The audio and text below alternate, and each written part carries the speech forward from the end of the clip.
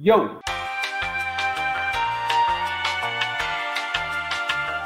I am going to go through a few more things for my pop culture show where I look at toys that I've collected and try to find out a little bit about them, see if I can't find some history on some of the items, just to learn a little something.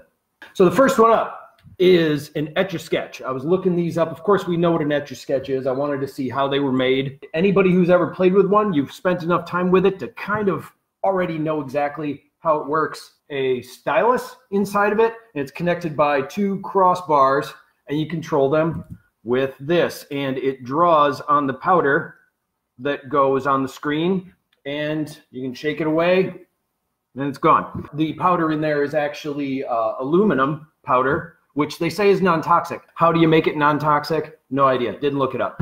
But uh, the entire thing was created in the 19 late 1950s, I want to say, by a guy named Andre Cassagnes. Cassagnes? Cassagnes.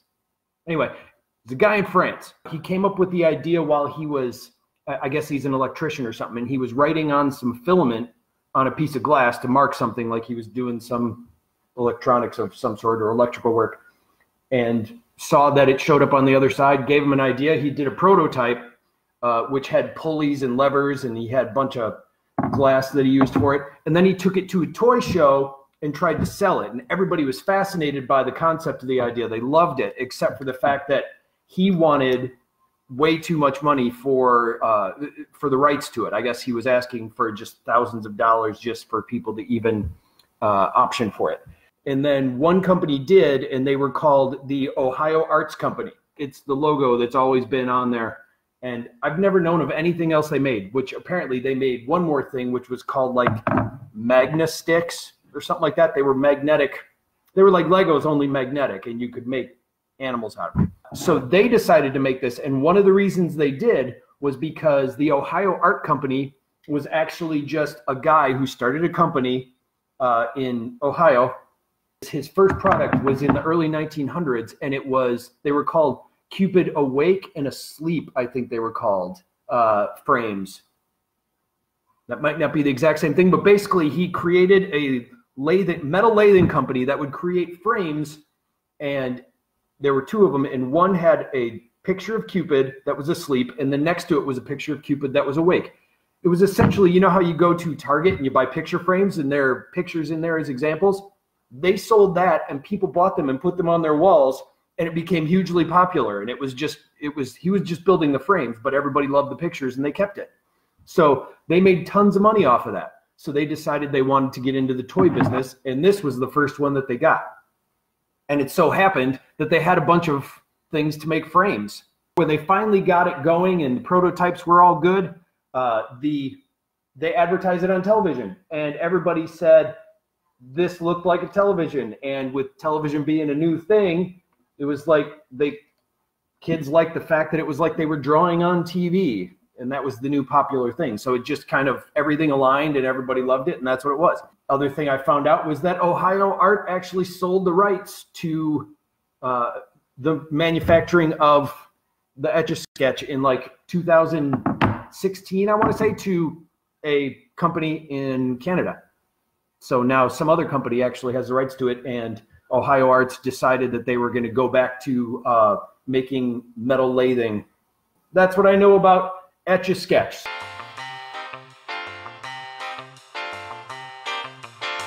So this is an old book, of course, called uh, Janet Lennon at Camp Calamity. On the cover, it says singing star from the Lawrence Welk show. It was actually made in 1962. It turns out she is actually Janet Lennon from the Lennon Sisters, which I did know. They were a singing group uh, of sisters, Lennon sisters, makes sense. And they did lots of appearances on like movies and television shows. And their first one was actually the Lawrence Welk show, which I didn't know was around that long. And the way that got discovered was Lawrence Welk's grandson went to school with these girls. One time he was sick, Lawrence Welk was, he was at home sick. And basically his grandson brought the Lennon sisters over to sing for him to make him feel better. It was an audition for sure. So they did. He loved them, and he signed them on to be a regular on the show. They debuted in like uh, on like Christmas Eve or something like that on one of the shows in like 1959. So from there, they became really popular. They sang all the time. They did appearances in movies. That's where they did all this, and then they started to market on it by creating things like coloring books, uh, like you know paper dolls, and by trying to create books like this. And the entire thing is they try to make it like Nancy Drew. She's a camp counselor, but things keep happening at the at the camp where she works. So she has to solve mysteries. Well, there are a few illustrations inside like that, but not a lot. And you know, so the whole thing is she's trying to solve some mystery. Other thing I found out, and this is actually really sad, uh, weird transition. They were going to get their own television show in 1969. Like Jimmy Durante was gonna was gonna host, or he was gonna promote them. It was gonna be Jimmy Jimmy Durante uh, presents the Lennon sisters and right before they debuted, it was supposed to be their breakout role. Their father was murdered by a crazy fan, a fan who believed that he was actually married to um, not Janet Lennon, but like in his mind, he thought that they were married. And the reason that he couldn't see, I wish I could remember which one it was, but it was one of the Lennon sisters. He believed it was the father that was keeping them apart. So he followed the father to a golf course. He was golfing one day and shot him, shot him like on the golf course and then later on uh, he shot him he the killer went home and shot himself and apparently he had mailed a letter to their house that was a picture of the father and a cutout of a gun to his head and it said like this high noon or something like that really freaking creepy stuff so that's horrible uh, but i found that all out just because i uh, got this book, and she was in the Lawrence Welk show. So weird way to end that one, but that's what happened. They ended up uh, going on to do the show. It only lasted a year after they had you know some time to grieve and recover, but they're still around and performing today. So that's the Lennon sisters, uh, Janet Lennon at Camp Calamity.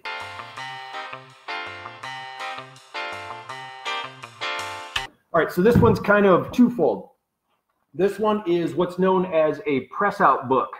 So it's of the Walt Disney movie the black hole. I wanted to know more about press out books because what they were is they're like paper dolls, but you actually they're like making models out of out of uh, pages from the book, and then inside the book they have entire scenes. Since they're press out books, you push out these things here and then fold them and make the actual parts out of them. Here's one of the spaceships fold it out. That's what this entire big thing here is. So it's an entire modeling thing. Wanted to find out more. I can't find the origin of them. They just started making them in 1960s. They did kind of start out more as um, uh, like make your own Valentine's Day cards is what it looks like. Like a lot of Valent, you'd get a sheet of like different Valentine's Day stuff, and you could punch them out and make different cards out of them. That's all I really found out about it. So I decided to look up the movie The Black Hole because I realized I never, I don't think I ever saw this movie. Uh, it was a Disney movie that was released. Uh, at the time, there were popular movies where these, what were they called? They were uh, the Towering Inferno and the Poseidon Adventure and all that, where it was like something was just, things were crashing, buildings that were destructing, Towering Inferno. So this was one where it was going to be in space. Well, from the get go, the whole thing was uh, riddled with tons of problems. They uh, Disney had somebody write and produce the story, and as he was writing it, they wanted some rewrites and the guy died. So they had to get somebody else to do it. Then uh, it kept changing hands. They wanted to make revisions. They decided to change their mind on which direction it should go, things like that. It finally got made. It, you know, it, it kind of got okay reviews. It was mixed reviews. So what they did is Star Wars came out around that time and they were introducing a bunch of new special effects and they wanted to use some for this, but also they had already been in production and a lot of it was done with um, they would paint things. There, so there were lots of like painted images and things that were used for like skyscapes and backgrounds, and they were superimposing it. And they had a dude who painted all these big space backgrounds and stuff that they were going to use. He did like I want to say they said like 150 of them, and they ended up using 19. So poor guy, but I'm sure he got paid. To promote the movie, Disney used to have this Sunday comic. It was called uh, the Disney Tales of Adventures or something like that. It was a Sunday comic. It was like eight panels. They'd hire cartoon artists to basically draw images and stories based on things they released. So it was a cartoon that was literally just an advertisement. And at this time, they decided to make a cartoon to explain the story and actually fix some of the uh, huge plot holes that were in the movie and like some of the things like the science that didn't match up. So they created a series to advertise it in the Sunday comic that they made to explain some of the, the holes in the story and fix that. And one of the people that they hired to do it was Jack Kirby, who is like from Marvel and created the X Men and all that kind of stuff. So that artist was hired onto it, looked up some of the artwork. It's really cool. So I'm going to check out more of that. It was the first movie that Disney released that was uh, rated PG. And it was because they said hell and damn in the movie. And also because apparently there's like a horrible death of like the captain at the end. So it was too much for the children. So from that point on, they did want to get more into adult roles. The fact that they released this on Buena Vista and uh, kind of like didn't want to taint the name of that. That's how they created the next movie when they did uh, in more of an adult realm. They created Touchstone Pictures, and that's how Touchstone Pictures started. Was because they wanted to do more adult sci-fi type stuff. That's that.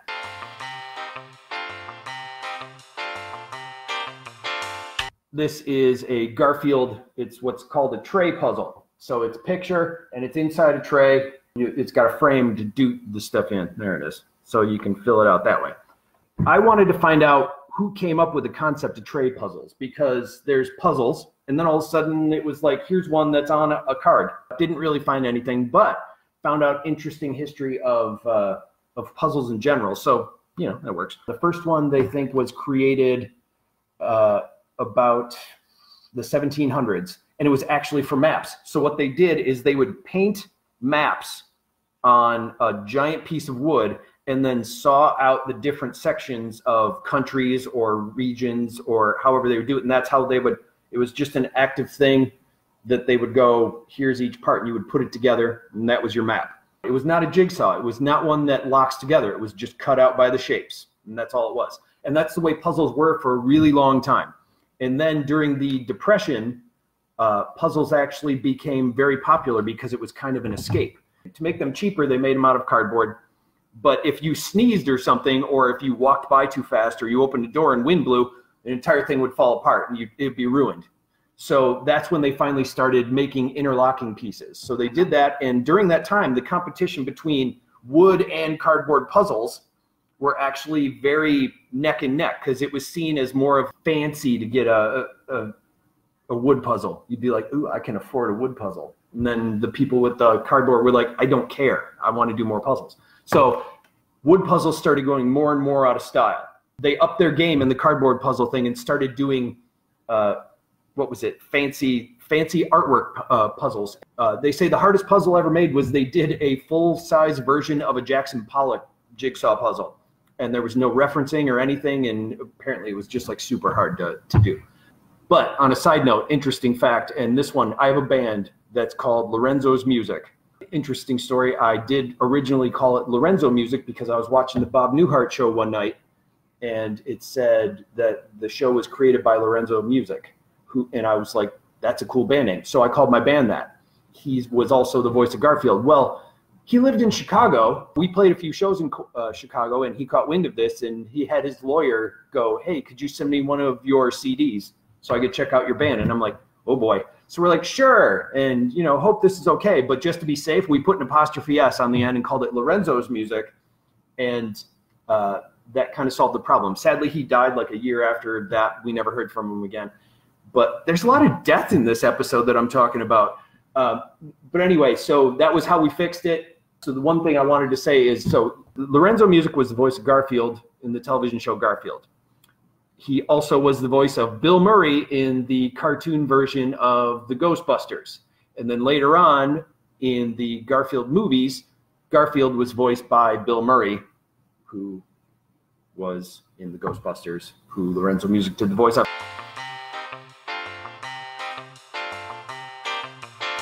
That is what I got. That's uh, that's jigsaw puzzles for you, and uh, that's the end of it. Hope that was all interesting enough. And uh, see you later. Let's stop this thing here.